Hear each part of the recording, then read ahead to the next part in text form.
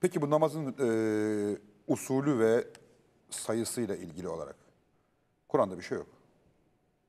Var. Nasıl? Ne diyor? Var da bugünkü.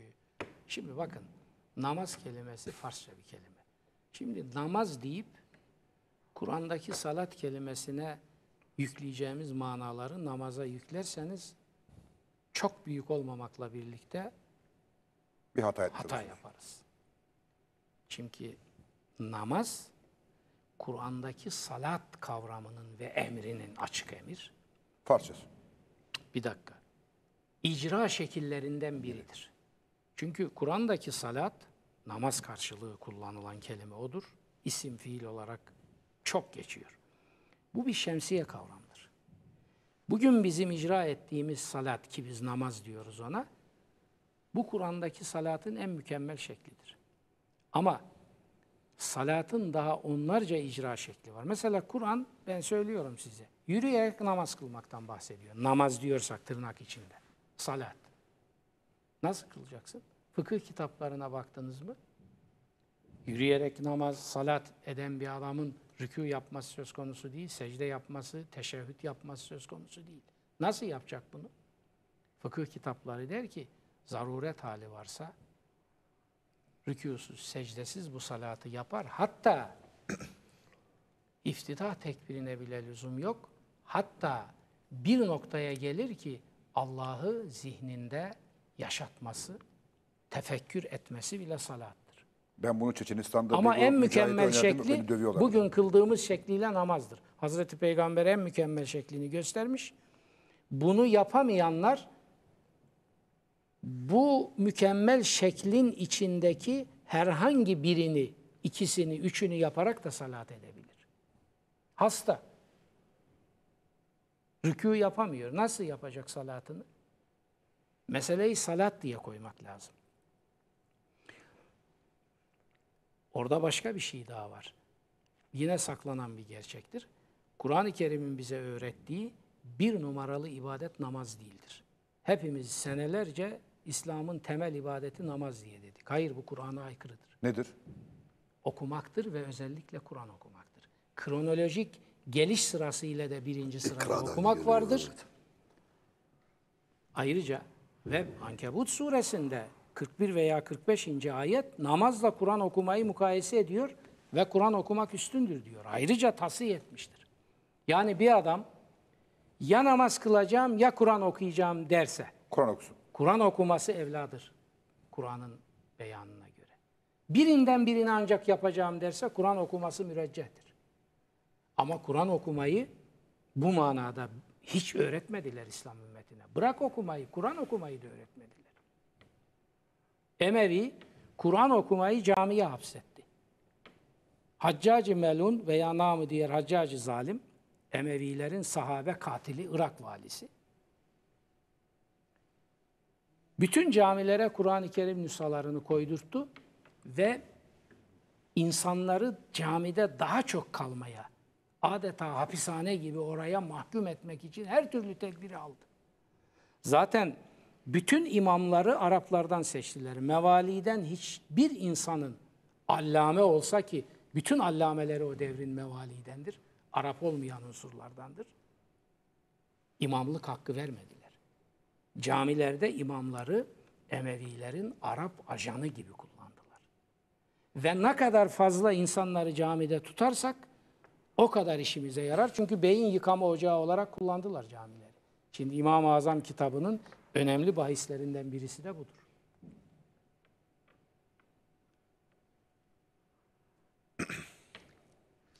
İşi böyle bağladılar. Şimdi Kur'an-ı Kerim'i bu- camide okumaya hapsetti. Biz bunu biraz dışarı çıkardık. Nereye çıkardık? Mezarlığa çıkardık. Zaten öyle merasime bağlandı ki bunu okuması mümkün değil insanların. Bakın Emevi melaneti oralara uzanmış. Ayağını uzatarak okuyamazsın. Diz çökmeden okuyamazsın. Başın açık okuyamazsın. Abdestsiz okuyamazsın. Hayızlı kadın okuyamaz. Lohusa kadın okuyamaz. Ya, yahu sen bunu açık söylesene Nasrettin Hoca'nın e, cami Okuma hikayesinde. diyeceksin de diyemiyorsun. Okuma diyeceksin de dilin varmıyor. İşte sonuçta da okumamış zaten kimse.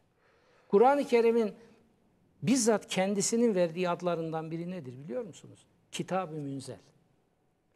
İnzal yukarıdan beşer yararlansın diye aşağı indirmek demektir. Bize ne yaptırdılar? Bunu niye aşağı indirdiniz? Yukarı kaldırın bunu. Evin en yüksek yerine astı. Öyledir, başınıza Allah'a kafa tutarcasına ve elini sürmedi oraya. Orada durdu.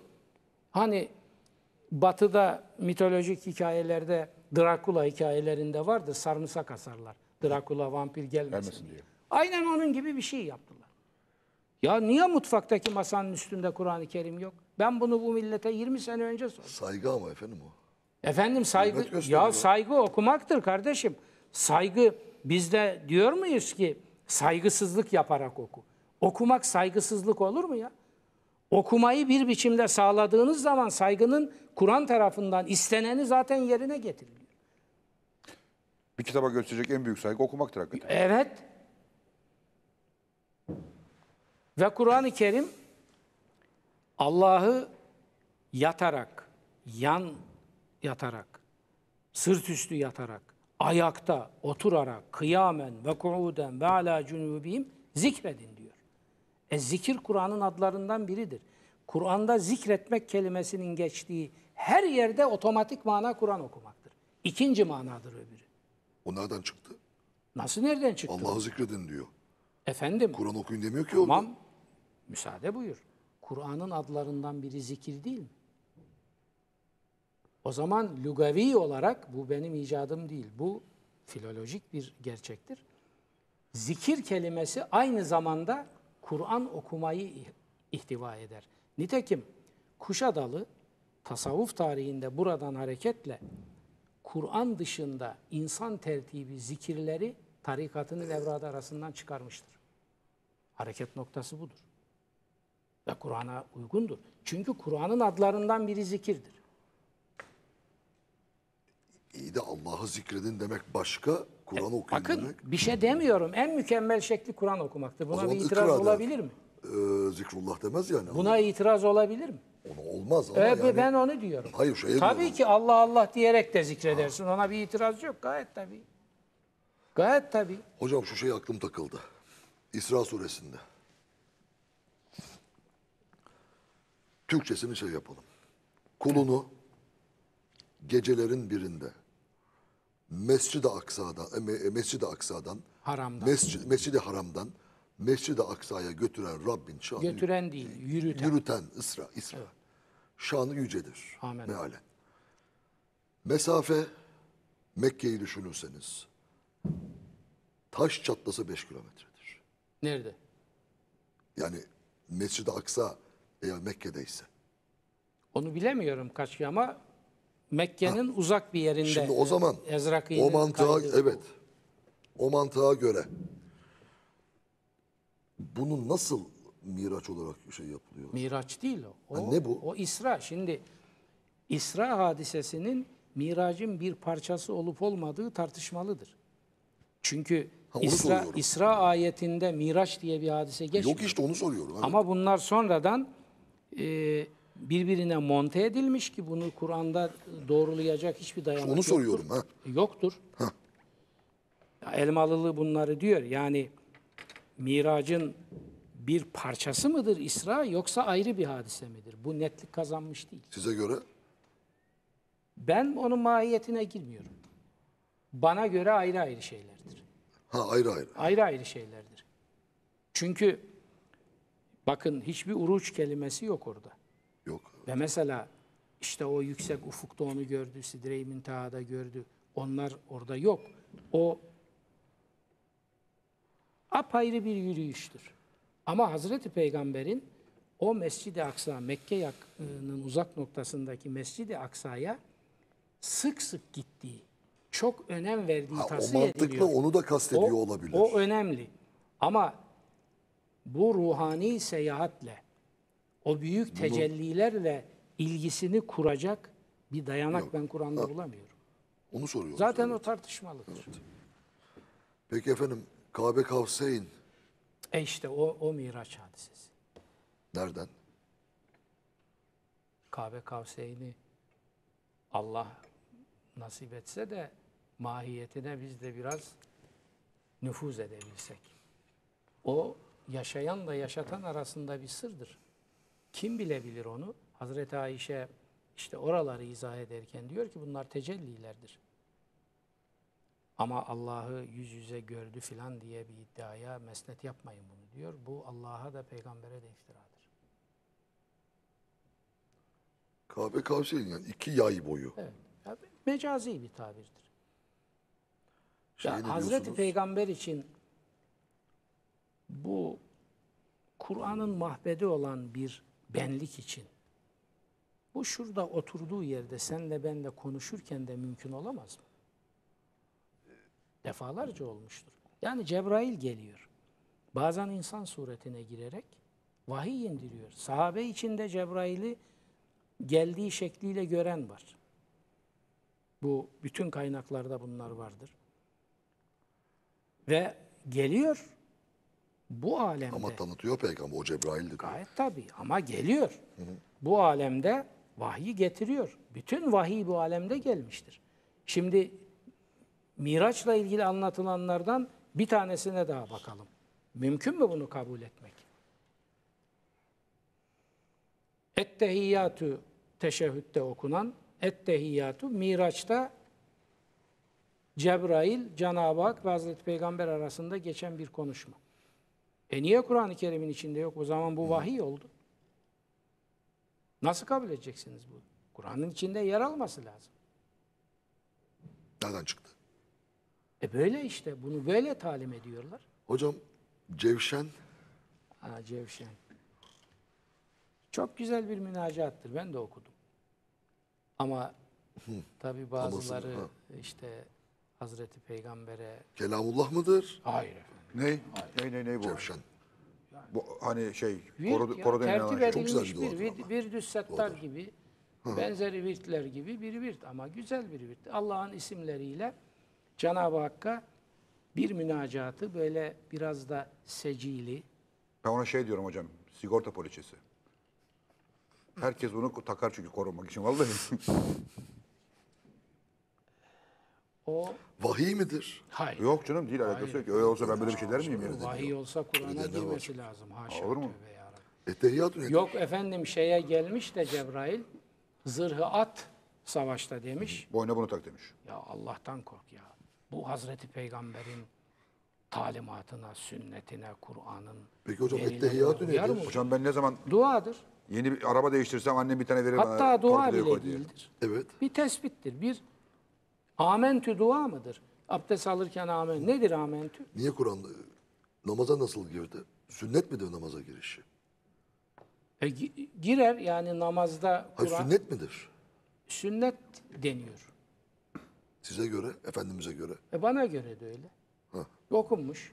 Ama namazda Kur'an dışında bir şey okunmaz diye bir kural yok ki.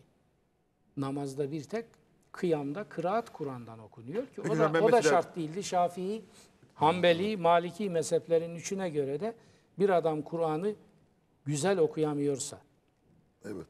Men la yuhsin el arabiyyete felehu en yekra ma şa'e. Bakın İmam Şafii'nin koyduğu düstur. Şimdi bize dayatmışlar. Kur'an'dan okumadıkça namaz olmaz. Yok böyle bir şey. Şart değil. İmam-ı Azam diyor ki münacattır. Allah'a yakarıştır. Kur'an'ın başka dildeki tercümesiyle de olur Yani o bu. duaları okumak şart değil mi? Başka dualarla da olur ve di- diğer üç mezhepte bunu hatta üç mezhep demeyelim. Caferilikte de bu vardır. Ama Arapça okurlar. Gayet Arapça tabii. Peki bilen onu şimdi okur. ben diyelim ki dua bilmiyorum. Sonra Kur'an'dan şu kadar okunacak bu. Bunlar fakihlerin kendi aralarında biraz da halka rahatlık sağlamak için verdikleri kalıplardır. Bir adam münacat sadedinde bütün namaz boyunca mesela Bismillahirrahmanirrahim Hocam bir şey diyerek soracağım. namazını kılsa Heh. bunun olmayacağını söyleyebilir mi bir adam? Ben söylemem benim hoşuma gider.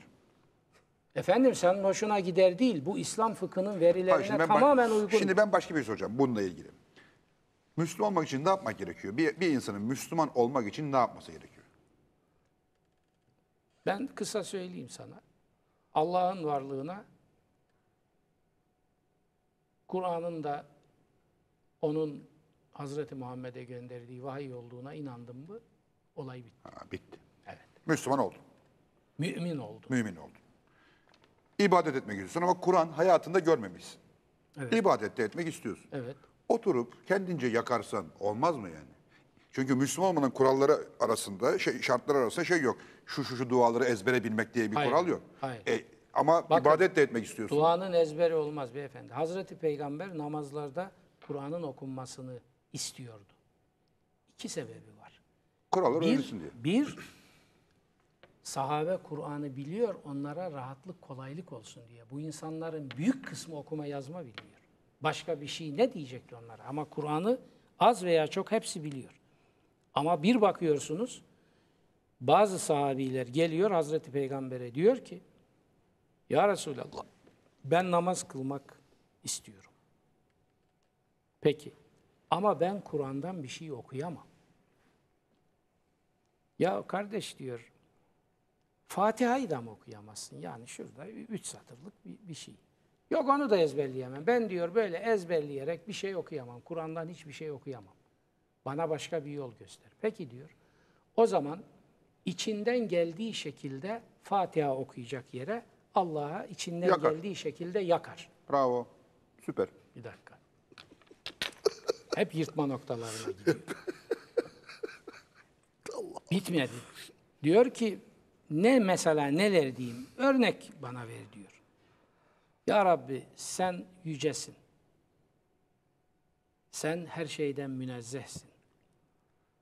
Sen her şeye kadirsin. Seni tesbih ederim. Seni takdis ederim. Filan böyle örnek veriyor ona. Güzel de diyor.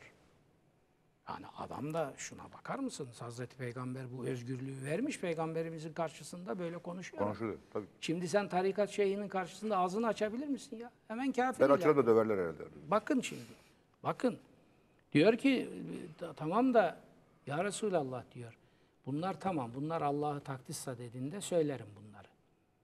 Ben kendim için de bir şeyler dua etmek istiyorum. Tabii diyor. Kendin için, çocukların için, ailen için de afiyet iste, mutluluk iste, nimet iste. Onları da iste diyor. Şimdi fıkıh kitaplarına koymuşlar. Namazda dünyavi, dünyevi dua yapılmaz. Ulan dünya duanın dünyevisi ne, uhrevisi ne?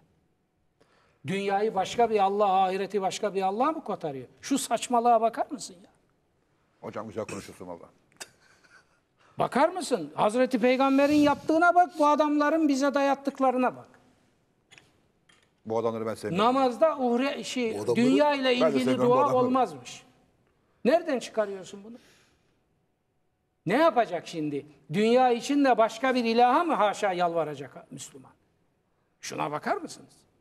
Hazreti Peygamber Dünya böyle için diyor. ama şeye yalvaracaksın. Ba- Çocukların için diyor bereket iste, cumhurbaşkanlarına. lütuf iste, ahiret e, için Dünya malı için onlara yalvaracaksın değil mi? Ne diyor e, Hazreti Peygamber? Yani Kur'an'dan okuyamıyorsan kendi içinden geldiği gibi. İmam-ı Şafii bunu alıyor. Sorduğun sorunun en hayati yerinde bilgisayara bakma, bana bak. beyefendi. Hocam dinliyorum. Hocam dinliyorum. Çünkü şoku kesme. İmam-ı Şafii bunu alıyor. Diyor ki, Hazreti Peygamber'in bu dediğine istinaden diyor ki, bir adam diyor namazında, kıyamda Fatiha yerine böyle içinden gelen bu duaları da e, olabilir ki bunları güzelce birbirine düzüp o arada söyleyemez. Söyleyebilir. Kısa bir zaman. Ne diyor biliyor musunuz İmam Şafii? Ve İmam Malik. Ve İbni Hanbel. Üçünde de aynıdır. Bunları halka söylediler. Diyor ki Allah'ı düşünsün zihninde. O da diyor Fatiha'yı okuma yerine geçer. Geçer. Ya bunları niye saklıyorsunuz halktan? Bırakın Allah'a bu şekilde secde etsinler. Bu peygamberin verdiği bir hakkı siz niye gasp ediyorsunuz ya? Senin babanın malı mı? Sen gene duayı öğren de öbür taraf garanti tabii, olsun. Namazı Çin Sadece akrabası sigorta size hocayı çevirdi. alma. Gelmiyor. Bunların anlattığı namazı kılmak hakikaten müşkül bir iştir. Şimdi ben Hazreti Peygamber'in kaynaklarda gelen sahabilere, ilk defa iman etmiş insanlara veya iman etmiş ama Hazreti Peygamber'i daha sonra yeni görmüş geliyor. Bana namazı anlat diyor. Ya 6-7 cümle 3 dakikalık iş. Şimdi fıkıh kitaplarındaki namaz 100 sayfayı buluyor. Onu öğrenene kadar bir adamın ömrü biter zaten. Hocam bir söz vardır Ferit Hoca'nın, Ferit Kam'ın. Bir meselenin anlaşılmamasını mı istiyorsunuz diyor. Şerh edin. Tamam. İmam, Yorumlayın. İmam-ı Azam'da var. Onun mu? Cevaplar çoğalırsa diyor, hakikat Hocam sizle ilgili şahane bir laf geldi. Almanya'da bir ilahiyatçıya bir Türk vatandaşı soruyor. Diyor ki Yaşar Nuri Hoca'yı nasıl bilirsin? Nasıl adamdır? Cevap şöyle. Yolun solundakileri dine çeker, yolun sağındakileri de tahribat yapar. ama o o, Doğru ta- ama. o tahribat hurafe dininde. Evet. Ondan mutluluk duyarım. Süper bir laf yalnız. Enteresan. Ya yolun solundakileri Dine çeker, yani tabi din dediğin zaman umumi manada solu da sağı da bizim insanımız inanır. Ama bir özel manada bunu kullanıyorsa ben Deniz Baykal'ı çekemedim. Nerede solu? CHP'yi çektim mi yani? Çektim mi? Yalnız sen Sağındakilere tahribat diyorsan onu da bir espriyle söyleyeyim. Onların tahrip edilecek yeri de kalmadı zaten. Onlar hepten batmış. Çünkü örf dinini Kur'an'ın üstüne oturttular. Bitti. Bitti. Ondan sonra istediğin kadar cami yap, istediğin kadar namaz kıl. Temel yok. Belki o solmol dediğiniz yani biliyorum kimleri kastettikleri. Ya böyle işte ibadetsiz filan. Büyük ihtimalle Kur'an'ın bana öğrettiğine eğer dayanarak konuşursam büyük ihtimalle onlar Cenab-ı Hakk'ın karşısında daha büyük puanla öne geçecekler. umudumuz bu hocam. Samimiyetleri kurtaracak Yalnız onları. Öbüründe gene- iddia var, bunda samimiyet var. Sen gene garantiye al. Bir iki kısa ayet ezberle. Aman gözünü seveyim sakın bunları ezberle, bana yap. dayanarak senet yapma sonra benim hocam, başımı vallahi derde Garanti ver, garantisini Ben vermiyor. öbür tarafa Hayır efendim, diyecek ki haşa, Yaşar ben Nuri'yi dinledim. kendime. Garantisini vermiyor. Diyeceksin ki vallahi Yaşar Nuri Hoca'yı dinledim. Sen yine sigorta babından birkaç şey Şimdi bak Baktım her- geçemedim atlarım bunu sırtına. herkes dinliyor. Tabii ki omuzlarımızda melekler de kaydediyor. Sen onun için öyle kolay yırtamazsın.